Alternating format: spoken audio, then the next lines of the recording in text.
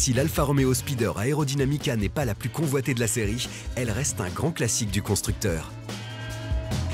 Elle bénéficie d'un certain nombre de changements favorisant l'aérodynamisme par rapport à ses grandes sœurs.